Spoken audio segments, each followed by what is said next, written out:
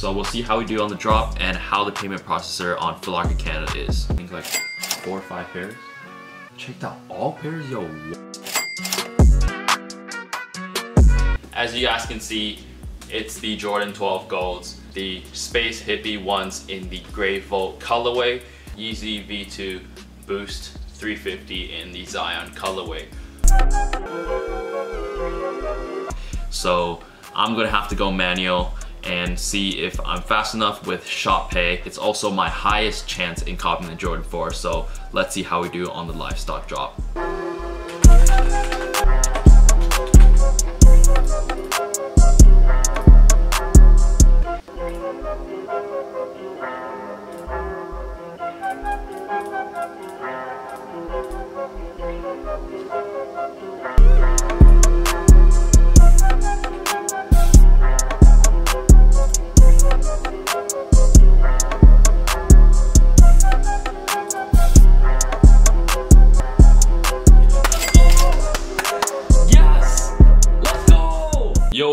Guys? It's Brandon Kickz and I'm back with another episode. Welcome back to episode 12 of the Hypreneur series. I apologize for not uploading for around three weeks now. Basically what happened was the first week of August was absolute garbage. Everything was a brick.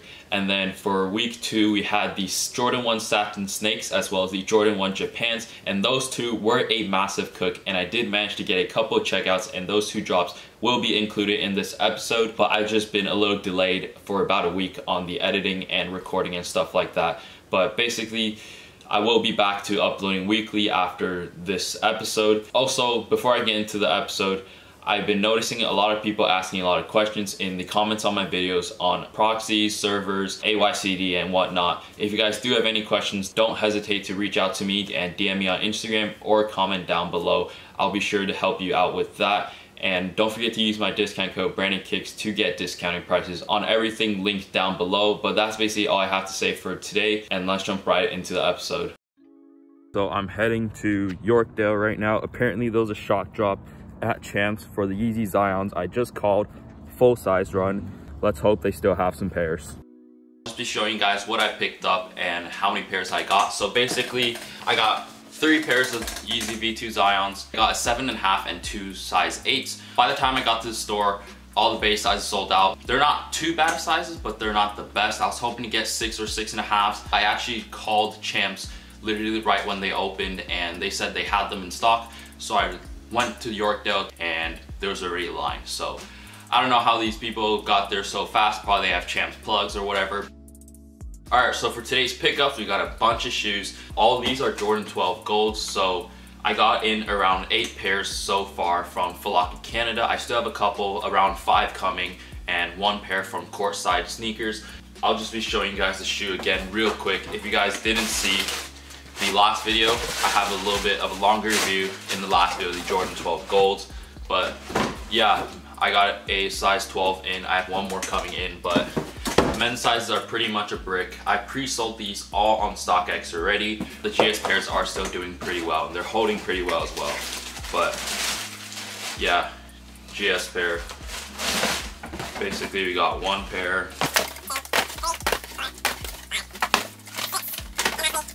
So eight pairs in total and that's basically it. Next up, we have some Fear of God essentials from Essence. I copped around 15 volleyball shorts. I've already pre-sold all of them, so a bunch of this stuff I'm showing you today, I'm just gonna be showing you guys now and shipping them out tomorrow. So that's why I'm doing this unboxing really early on in the video.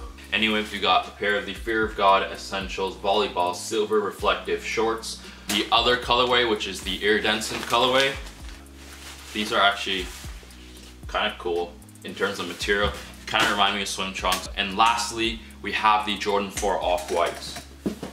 That came in the mail today. Super clean box, size 7. If you guys if you guys didn't watch my last video, make sure you guys go watch episode 11 because we did cop these Jordan 4 Off-Whites for retail, so that was super hyped.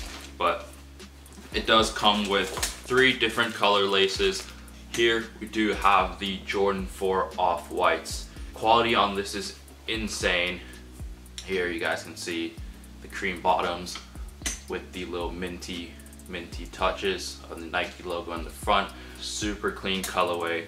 I'm probably gonna be getting rid of these real soon and then buying my own size, which is 11 and a half women's.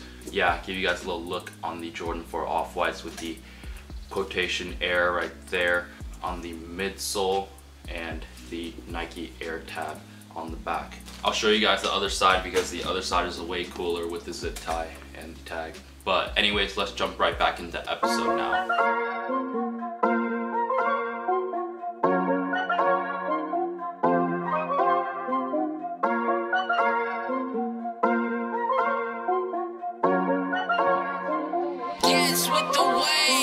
track,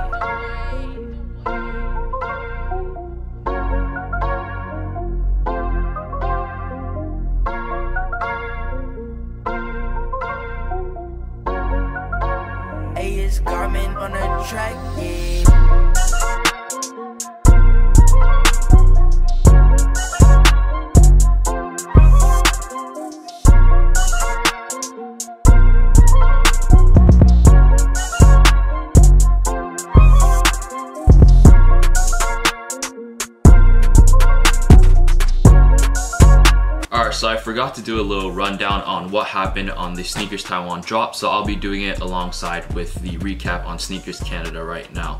So basically what happened on Sneakers Taiwan was that I ran all of the same size, which was size 9, and that probably wasn't the ideal strategy to go to because the biggest size sneakers Taiwan even got was size 9. So I was hoping to get big sizes, but I think stock was just too low and running like 70 to 80 tasks on one size is probably not the ideal strategy, but it is what it is. And on Sneakers Canada, I had I think 70 or 80 entries in as well, but it still wasn't able to hit. A lot of people are saying that accounts are big factors in copying on sneakers and I don't think that's really too important as most releases are fill releases which are basically raffles and you get around three minutes to get your entry in. So running more accounts will just increase your chances. In a couple hours time, we do have the foot sites drop. Basically right now it's around 6.30 a.m. I'm gonna go back to bed and wake up at 9.30 and see you guys on the foot sites drop.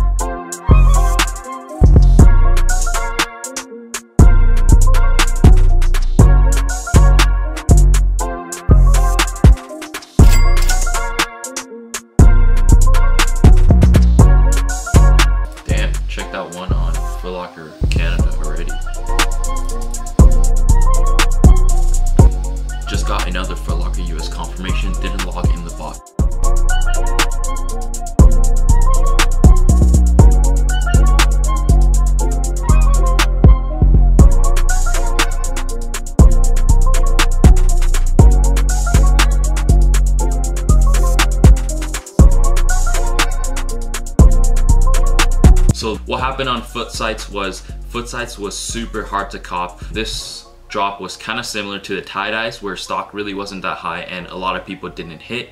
But I was really glad that I was still able to hit two pairs, one size eight and a half on Foot Locker Canada and 11 and a half on Foot Locker US. So I've been testing my profiles and I'm finally glad that I'm not getting any more PVs whatsoever. A lot of people are saying that they toned down the Adyen on foot sites, but I don't think that's the case. I think it still comes down to your profiles and how your profiles um, act towards Adyen and what Adyen thinks of it, if it's fraud or not. But basically, recently for the past couple drops I haven't been getting any more PVs so if you guys do want me to drop a foot sites PV guide make sure you smash that like button if you guys can get this video to 100 likes I will drop the video and the guide I would like to share my setup with you guys and how you guys can avoid foot sites PVs but in an hour time we do have the livestock drop and it's the last drop of the day for the satin snake ones Livestock's probably gonna drop some super whack double question again, and hopefully we don't pull an off-white Jordan 4 and mess up the questions again. But we'll see how we do on the livestock drop in around 15 minutes.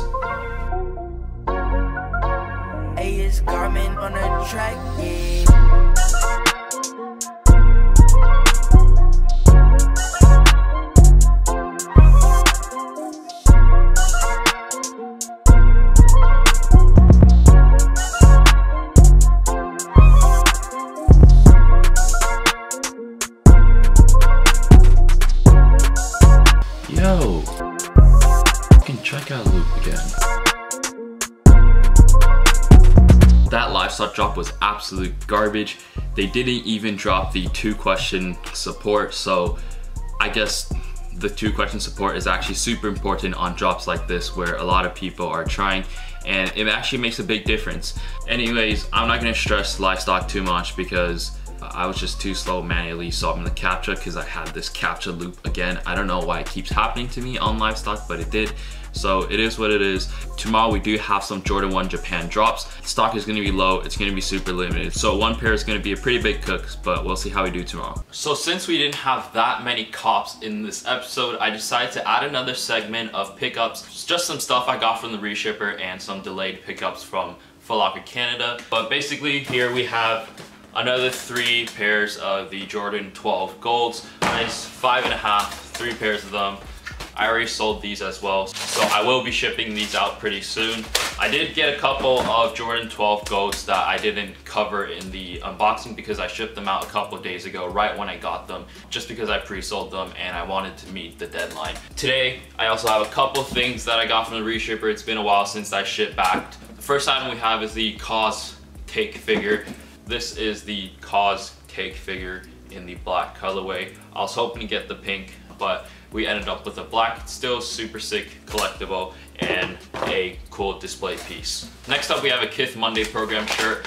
Uh, I did get this shirt off camera, and it's the Kith Tokyo Landmark tee for their brand new Kith Tokyo opening store. We got another pair of the Jordan 12 Smoke Grays, size 9 from the reshipper. Lastly, another Jordan 1. I think these are Royal Toes from the last restock from a while ago. But yeah, size 9 Royal Toes. These actually went NASA. These shot up like crazy, especially GS pairs. I'm holding like 18 pairs right now. And that's basically all the pickups I wanted to show you guys. And let's jump back right into the episode.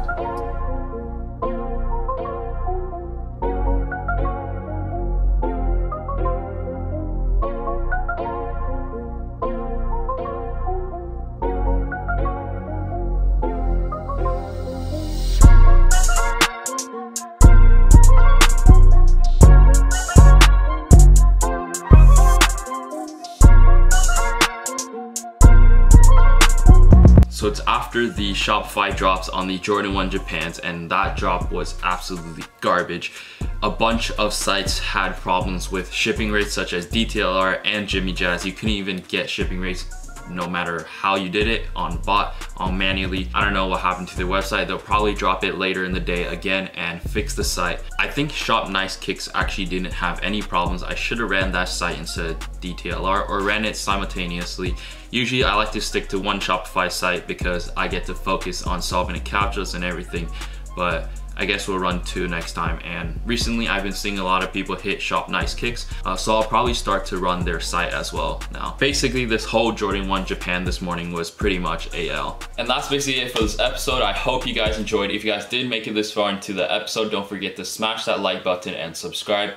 Next week, we do have a couple pretty big drops, such as the Jordan 5 Bel Airs, the Sean Wotherspoon ASICS Gel-Lyte 3s, as well as the Sneakers Canada drop of the Jordan 1 Japans. Those three drops are going to be a huge cook, so stay tuned next week for that. And you guys will find out how I do on those drops in the next episode, and I'll see you guys next time. Peace.